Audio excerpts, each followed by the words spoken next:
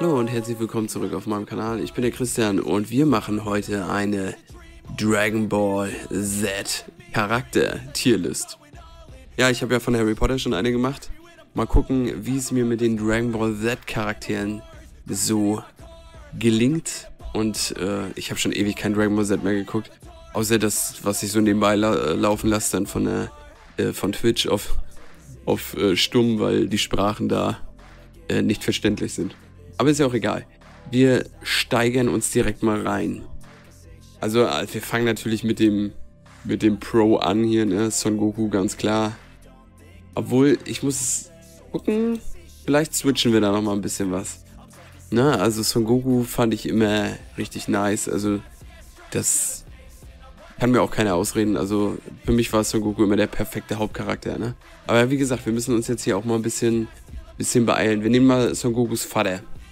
Der ist so ein, also der ist auch schon cool, so, ne? Aber wie gesagt, Son Goku ist da nicht zu toppen. Und äh, der Vater von Son Goku ist halt auch ein bisschen böse, ne? Aber er ist trotzdem auch eine coole Sau, glaube ich. Irgendwie so war das, ne? So, auch eine coole Sau und auch böse ist diese Form hier von Boo. Das ist ja die Endform. Die fand ich auch ganz geil, muss ich sagen. Diese Formen hier haben mir nicht so zugesagt. Er hier war aber auch wieder ganz cool. Ihn würde ich da auch mit hinpacken. Der war auch äh, irgendwie, irgendwie ganz süß gemacht. So, wen haben wir denn hier noch? Chichi war immer nervig. Ne? Chichi war immer nervig. Aber es, ich weiß gar also vom Nervfaktor müsste sie eigentlich hier unten stehen. Aber ja, man kann es immer noch so ein bisschen nachvollziehen, weil sie ist halt die, die Mutter, ne? Also Son Goku wirkt ja hier und da auch mal ein bisschen hohl in der Birne, so sag ich mal. Und sie ist da schon ein bisschen smarter und cleverer. Äh, Bulma hingegen ist noch smarter und cleverer. Äh, die würde ich... Ja, komm, lass, wir lassen die erstmal auf B. Weil C18 würde ich nämlich auch auf B setzen und C17 so auf C, weil der ist mir, C ist so ein bisschen, ist mir egal. So, ne? Also hier können wir vielleicht auch drauf eingehen. Äh, ich habe auch, ich mache das jetzt auch nur noch aus der Erinnerung, wie ich sie so drinne habe, ne? Also welche Charaktere mir so ein bisschen egal sind und äh, welche ich ganz geil fand damals. Er hier war doch auch ein Lappen. Also er war doch der, der von Bu und so. Ich glaube, er war noch so mit der, der am meisten Arschloch war. Er ist mir relativ egal. Ihn fand ich wieder ein bisschen, bisschen besser, würde ich sagen. So diese Form von Bu, ne? So, wen haben wir? Er ist auch mir so die Nummer hier. In einem okayen Bereich, sag ich mal.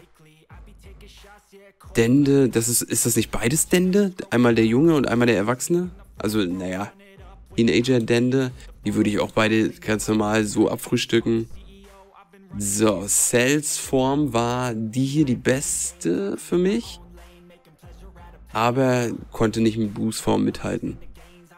Na, und dann haben wir hier die Form. Die Form fand ich noch ein bisschen okayer als die Form. Die Form fand ich mir irgendwie lame. So, er hier ist lame. Ähm, wen haben wir noch so? Er ist witzig, ist aber auch eher so ein okayer Bereich. Was haben wir hier? Okay, okay. Nee, lassen wir erstmal noch. Gut, da ist Son Gohan noch relativ quengelig. Deshalb würde ich ihn hm. So im Bereich von seiner Mutter lassen? Sie guckt ihn so. ne? Sie behält ihn im Auge. Oder? Ja, vielleicht, vielleicht auch hier. So richtig weiß ich es nicht. Das, ähm, das hier ist aber für mich die krasseste Form von Son Gohan. Also da würde ich schon fast sagen, der hier. Weil das ist die Form, die mir am besten gefällt von Son Gohan. Ne, nicht die hier. Die ist ein bisschen naja, vielleicht noch in einem okayen Rahmen gewesen. Haben wir auch den Sireman, dann habe ich eine, die ich definitiv weiter unten setzen kann. Okay, und die Form ist noch ein bisschen cooler, wa? Also jedenfalls wirkt es so. Na, also ich bin mir nicht ganz sicher, ob das hier... Ist das nicht so...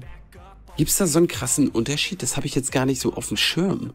War das nicht alles die Busaga hier? Weil bei Cell ist er ja der hier. Der muss ja bei Bu das hier sein und aber auch das hier noch. Das habe ich jetzt nicht so ganz auf dem Schirm. Ansonsten, hier wirkt er ein bisschen Dully-mäßiger, deshalb nehmen wir hier die... Oder dauert die Busaga so lange? Ich habe das nicht mehr so ganz auf dem Schirm. Also Freezers beste Form auf jeden Fall. Ein blödes Bild gewählt. Der Vater von Freezer ging mir auch total am Arsch vorbei, so sage ich ganz ehrlich, so wie es ist. So, er war ganz okay hier. Ne? Lassen wir auch in einem okayen Rahmen. Ähm, Gott fand ich auch immer okay. Das ist Nile oder Neil oder wie er heißt, ne? Der ist schon fast. Der ist schon fast hier, aber der hat auch zu wenig, zu wenig Zeit gehabt, ne? Zumal Piccolo ja im Prinzip schon ein höher geht. Obwohl eigentlich müsste Piccolo dahin und dann Neil dahin. So, wen haben wir dann hier noch so schickes? Ich wollte gerade sagen, hier ist ja nochmal Son Gohan, aber das ist ja Yamchu. Yamchu kriegt auch nur ein Okay. So, der tut mir immer echt leid, weil der ist so am meisten neben Shao Su. Die fallen so runter, die Charaktere, muss ich sagen. Weil du ein Tenshin Han ist wenigstens so ein bisschen krass. Krillin auch. So, Yamchu fällt da immer irgendwie so hinten runter. Der hat ja nicht mal mehr Bulma gekriegt, so, weißt ist, Hat er überhaupt noch äh, eine Freundin nachher abbekommen? Nee, ne? Finde ich auch wieder ein bisschen schade für ihn, weil das mit Bulma hätte sich ja angeboten, aber Vegeta war halt ein bisschen krasser, ne? So, hier war doch eben der Sireman, so, der war richtig dumm. Der ist mir total auf den Sack gegangen. Tut mir leid, aber der, der ist. Weiß ich nicht, der ist mir. Der, fand ich ganz schlimm. Videl fand ich wieder süß. Die war hier, würde ich sagen. Ne? Die passt doch hier super neben Son Gohan hin, oder? Die war schon ganz sweet. Oh, hier auch zwei Formen von Vegeta. Der erste Vegeta ist so in so einem okayen Bereich und der zweite, oder warte mal, das muss ich mir hier nochmal gut angucken. Der Vegeta ist hier. Denn ist so ungefähr. Obwohl der Tendenz hat, hier unten zu sein, aber vielleicht gibt es ja noch einen anderen Vegeta. Raditz jetzt leider auch zu wenig Screentime. Deshalb auch erstmal nur okayer Bereich. Der Satan ist mir Anfang. Früher wäre der hier gewesen, weil der mir so auf den Sack gegangen ist. Aber mittlerweile muss ich auch sagen, würde ich ihn schon fast in einem okayen Bereich, weil er auch manchmal lustig ist. Also man muss diesen Witz halt verstehen. Ne? Eigentlich könnte man ihn schon fast ein bisschen höher setzen. Weil der Gag ist ganz witzig. Aber ich fand es immer so blöd, dass er die Lorbeeren bekommen hat, so, ne? So, ja, der Drache ist halt okay. Haben wir noch den anderen Drachen auch noch mit bei? Die Dinger sind auch nur so, weiß ich nicht. Was willst du da? Die kannst du noch damit hinsetzen, weil sie schon ein bisschen lame sind. Na. Aber Muten Roshi muss wieder ein bisschen höher. Der muss wieder hier so mitspielen. Krillin noch höher. Krillin muss noch höher. Krillin ist hier Energiediskus eine der geilsten Attacken, finde ich. Mag ich sehr. So, Tenshin Han hatte ich ja gesagt, wenn Yamchu da ist, dann muss Tenshin Han einen höher. Obwohl ich ganz früher bei Dragon Ball hätte ich gesagt, äh, Yamchu ist cooler. Die hatten ja auch so ein geiles Duell da. Ne? Propo ist auch nur okay. Ich glaube, Propo heißt er, ne?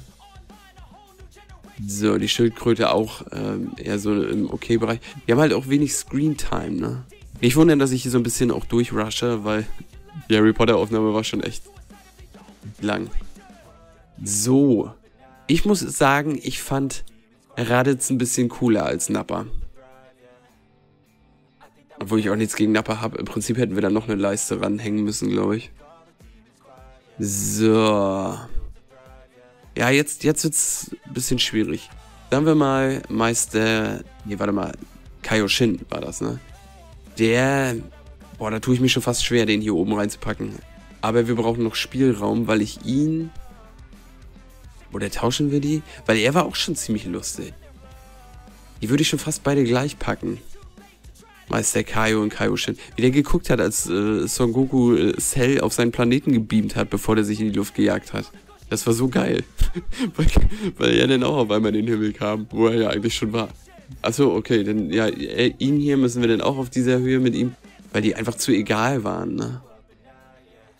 Sehen, ob das Sinn machen würde hier so. Irgendwie so nebeneinander. Er war schon noch ein bisschen cooler, glaube ich, als er. Dafür war er krasser. Schwierig.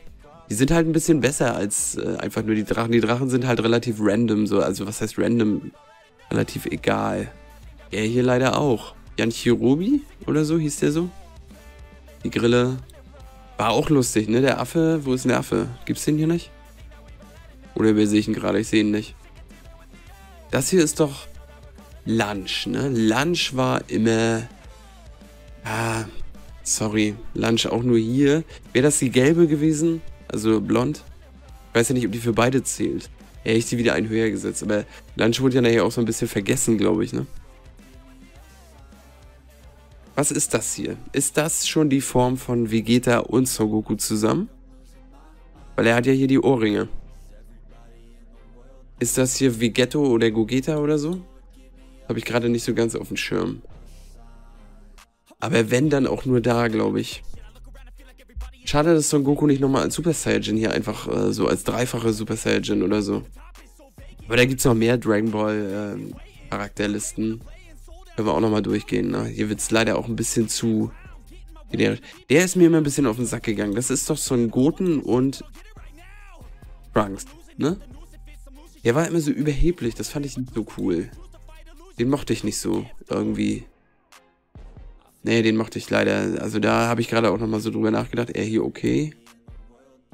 Er auch okay. Obwohl Meister Quitte könnte man schon wieder könnte man schon fast wieder hier mit hinsetzen. Aber der, der war bei Dragon Ball, glaube ich, relevanter. Son Goten leider auch nur egal. So, wenn wir Son Gohan... Warte mal, ich muss jetzt hier selber erstmal durchgucken. Da haben wir Son Gohan einmal, da haben wir... Ja, dann leider auch nur Son Goten hier. Den fand ich mir ein bisschen lamer. Trunks... Sehr überheblich. Der ist mir schon ein bisschen zu überheblich in dieser Form. Aber der Trunks hier ist cool. Der ist wieder ein bisschen geiler. Das passt eigentlich ganz gut, glaube ich. Obwohl, wenn ich mir hier so die Triple A, also die, die äh, A-Liste so angucke, das sind ja alles, weiß ich nicht. Schwierig, ne? Also wenn, wenn man sich das so anguckt, ne? Also. Aber wie gesagt, so wie ich diese äh, Charaktere empfinde, ne? Weil das sind ja hier alles drei, wenn wir jetzt danach gehen würden, wer ist gut und wer ist böse, dann müssten die natürlich hier weit, weit unten sein. Aber ich fand so wie die Charaktere, ihn könnte man da, der hat Spielraum nach oben. Auf jeden Fall. Aber es ist halt auch schwierig, weil hier gibt es ja einige Leute als Super Saiyajin. Und guck mal, wie oft es Son Gohan gibt. So, den gibt es ja hier äh, andauernd. Weißt du, hier unten ist er ja auch nochmal. So, und ähm, das hätten sie bei Trunks auch machen müssen. So, als Super Saiyajin hätte ich noch, nämlich nochmal ein bisschen höher gepackt. So, mit, mit dem Schwert so. So. Boah, hier, die waren irgendwie so. Die waren mir egal, aber die mochte ich auch überhaupt nicht so wirklich. Da kannst du die hier gleich mit einreihen. Ihn hier und ihn hier, ne? Die waren halt auch zu wenig Screentime und so. Er ist okay. Hm. Er ist okay. Obwohl man ihn auch fast schon wieder tiefer setzen könnte. Aber wir brauchen noch ein bisschen Spielraum, weil er war, glaube ich, auch okay, weil er lustig war auf irgendeine Art und Weise. Wie sie ihn wie, wie er so. Wie er sich beschwert, dass das alles so unfair ist. Äh, zu Vegeta sagt er das, weil Vegeta so krass ist, ne? Und Vegeta sagt, nee, nee, in, in einem Kampf wie diesen geht es immer nur darum, wer hier seine Birne behält oder sowas. Irgendwie so eine Nummer war das. Und danach hat er ihn, oder hat er ihm die Birne abgeschlagen oder sowas. Irgendwie so eine Nummer. Also das war schon ganz witzig. Also sie ist auch nur okay. Ich glaube, bei Dragon Ball war sie nochmal ein bisschen interessanter. Er ist okay. Das sind alles so, so die generischen Charaktere hier, so weißt die auch nicht viel Screentime. Also jedenfalls habe ich die nicht mehr so wirklich in Erinnerung. Er war leider.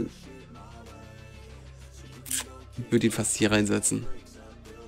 Weil er so ein Abklatsch von Muten Roshi war. In meinen Augen. So lustmolchmäßig, weißt ich würde ihn entweder hier oder hier, ich lasse ihn einfach mal da. Er war auch egal, auch ähm, okay, okay. Er hat zu wenig Screentime. Ähm, er war ein bisschen cooler. Das waren noch die beiden Handlanger. Er war ein bisschen cooler als er. Aber er hat ja auch eine andere Form nachher und die ist ja nicht mehr so cool. Ja. Er war egal. Er war egal. Obwohl, warte mal. Er war okay. Sie ist okay. Und hier brauchen wir ein bisschen Spielraum. Weil er war nämlich noch egaler als er. Und die beiden kannst du denn vielleicht auch hier so hinsetzen. Das muss ich nochmal durch, durchstöbern hier kurz, ob hier irgendwelche Charaktere sind. Nee, eigentlich müsste ich die fast tiefer setzen. Weil. Hier habe ich wenigstens ein paar Charaktere dabei, die, die irgendwie noch ein bisschen was hatten, so, weißt die haben irgendwie noch ein bisschen Spaß gemacht, also, oder irgendwie, ne, da war irgendwie, an denen war irgendwie noch was, so, wo, wo man so sagen kann, okay, ganz nett zumindest, oder irgendwie hier auch ein bisschen witzig gewesen oder so, ne, während die hier halt einfach Dullis waren, so. Sein, sein äh, Dings Körpertauschding mochte ich überhaupt nicht. Also das fand ich ganz schlimm. So, und er war mir zu arrogant und die hier waren auch einfach Dullis hier. Ja, das hier, damit konnte ich auch nicht wirklich was anfangen. Das, ist das nicht hier irgendwas mit Songuan oder so? In so eine Form, also äh, jedenfalls vom Outfit her? Keine Ahnung. Kann ich mich nicht mehr dran erinnern, ob er da, er hat glaube ich Songuan absorbiert da oder irgendwie so eine Nummer, ne? Die haben auch nachher ziemlich viel durcheinander gewürfelt, fand ich. Okay. Das ist erstmal so die Liste. Die würde ich euch auch natürlich wie immer verlinken unten. Ne? Und dann ähm, ist das erstmal vorläufig diese Dragon Ball Z Charakterliste, die ich hier habe. Ich zeig's nochmal ganz langsam. Also eh einfach, weil die fand ich beide Dully-mäßig und nervig. Also er war der Oberdully, weil er, nee. Der hatte doch auch bloß so einen komischen Move drauf und wenn der nicht mehr funktioniert hat, so ein bisschen wie er, aber er war noch witzig, weißt Und das war einfach Käse mit, mit dieser Sireman, weiß ich nicht, das ist so dieser asiatische Humor, glaube ich. Habe ich mega abgefuckt, fand ich richtig schlimm.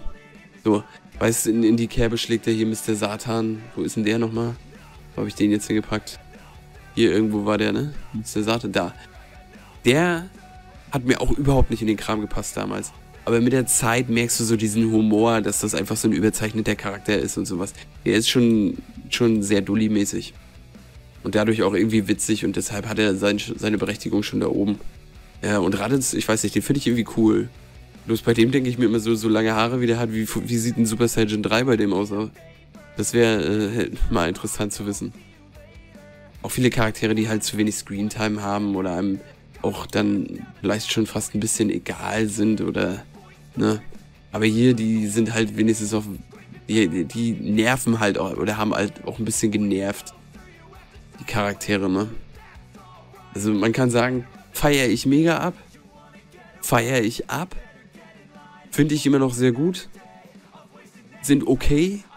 In einem okayen Bereich sind absolut okay. Ne? Einige sind ein bisschen okayer, sag ich mal, als andere. Ne? Und ähm, hier sind halt ein paar Charaktere auch bei, die schon fast ein bisschen nervig sind. Ne? Oder zumindest in der Anfangsphase sehr nervig waren. Und das hier unten ist einfach Quatsch. ne? Und dann, ähm, ja, ist das erstmal die Tierlist. Es soll ja weitere Tierlists geben. Das Format macht mir echt Spaß und irgendwann ist bestimmt auch wieder Dragon Ball oder Dragon Ball Z mit den äh, Charakteren dabei. Aber an dieser Stelle werde ich mich jetzt hier erstmal verabschieden und ich hoffe, ihr seid dann beim nächsten Mal auch wieder mit dabei. Und bis dahin sag ich einfach mal ciao.